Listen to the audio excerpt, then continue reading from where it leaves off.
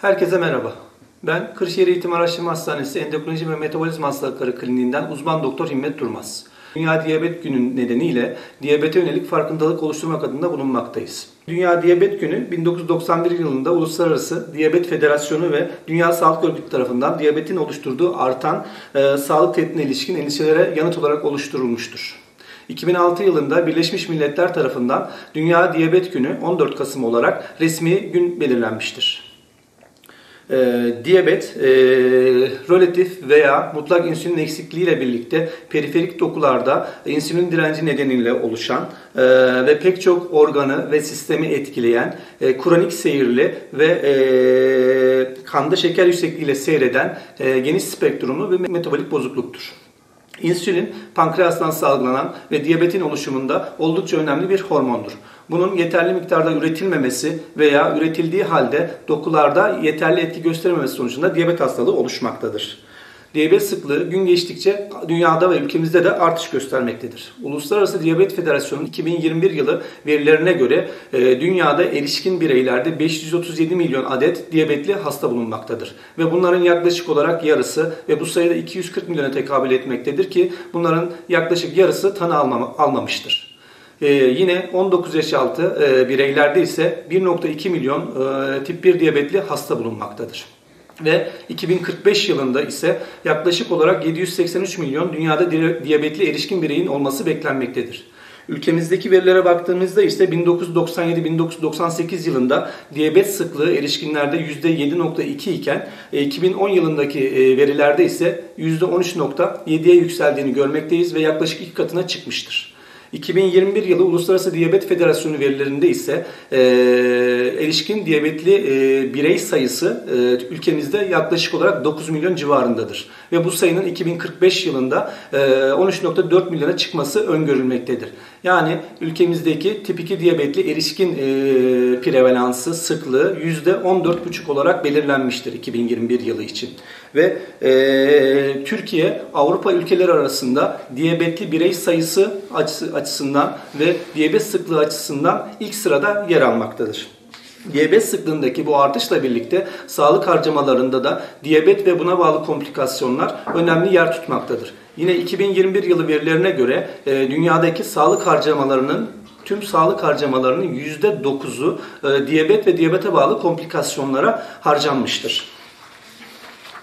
Diyabet önemli diyoruz. Neden önemli? Çünkü diyabet sık. Kontrol altında tutulmazsa erken yaşta ciddi sağlık sorunlarına ve ölüme yol açabilen, yaşam kalitesini olumsuz yönde etkileyen önemli bir halk sağlığı sorunudur.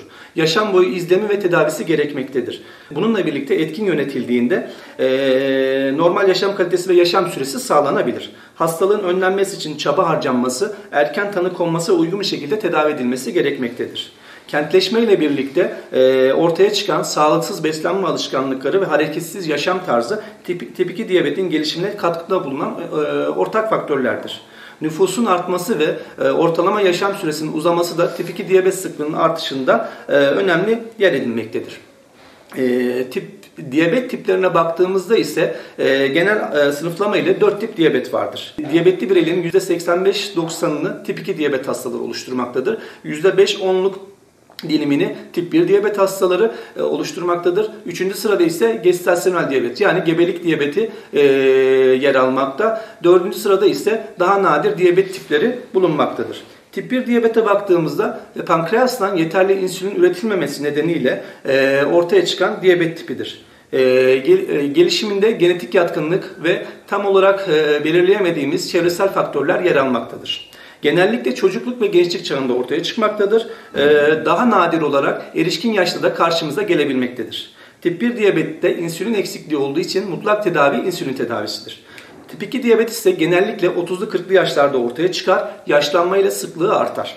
Son yıllarda yaşam ve günlük aktivitedeki değişiklikler ve artan obezite sıklığı ile birlikte e, genç yaşlarda da tip 2 diyabetli bireyler e, görmekteyiz güçlü bir genetik yatkınlık söz konusudur.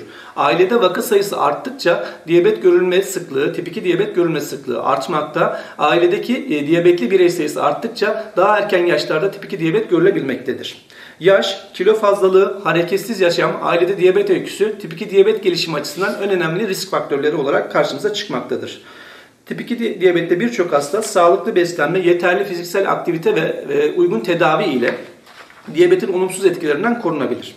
Bazı hastalarda kan glikoz e, düzeyleri ilaçla eğer e, o ağızdan aldığımız ilaçlarla kontrol edilemezse tedaviye insülin eklenmesi de gerekir.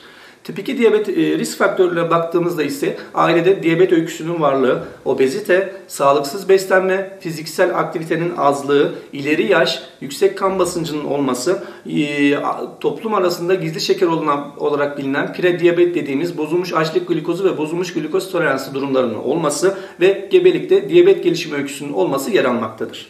Gebelik diyabetine baktığımızda ise daha önceden diyabeti bulunmayan kadınlarda gebelik sırasında ortaya çıkan e, diyabet tipidir. Genellikle 24. haftadan sonra ortaya çıkar. Gebe, e, gebeliğin sonlanması ile birlikte ortadan genellikle kalkar ama bu hastalar e, açısından ilerleyen yaşamlarında diyabet gelişimi e, açısından oldukça risklidir. Bu nedenle takipleri sonraki yaşamlarına ta, diyabet açısından takipleri e, gerekir. E, gebelik şekeri açısından risk gruplarına risk grubuna baktığımızda ise e, obezite, yaşın 25 yaşın üzerinde olması, 4 kilogramın üzerinde çocuk doğurma öyküsü olması, daha önceki gebeliklerinde e, gebelik şekeri çıkması, polikistik over sendromu olması e, ve açıklanamayan gebelik kayıpları olması yer almaktadır. Ee, peki diyabet e, hastalarındaki belirtiler nedir? Bizim karşımıza nasıl gelir?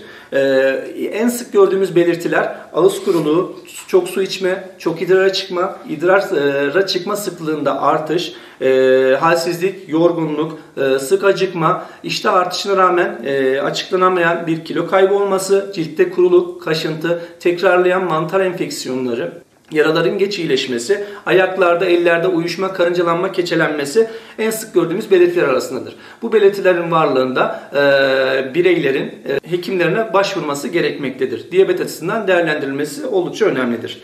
E, tip 1 diyabet e, belirtileri genellikle haftalar, aylar içinde ortaya çıkar. Hızlı bir seyir gösterir, hızlı bir şekilde ilerler.